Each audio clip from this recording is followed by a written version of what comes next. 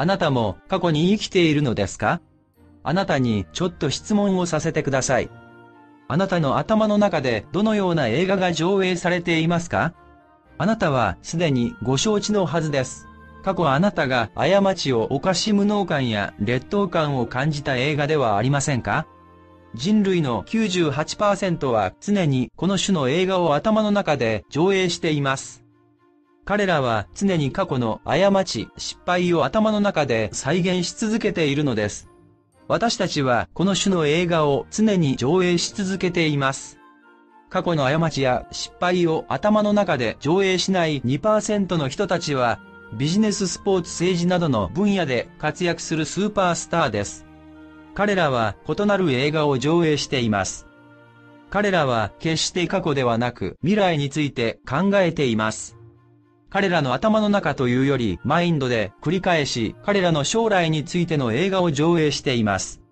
彼らは過去ではなく未来に関する映画を上映するという戦略を用いて大きな成果を出しています。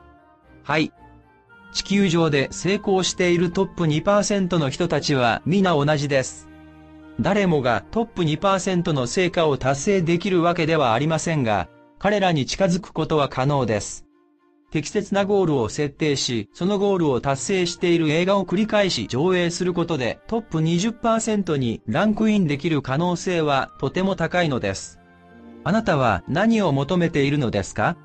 ゴールを設定する最初のステップは、あなたの人生において本当に求めているものを知ることです。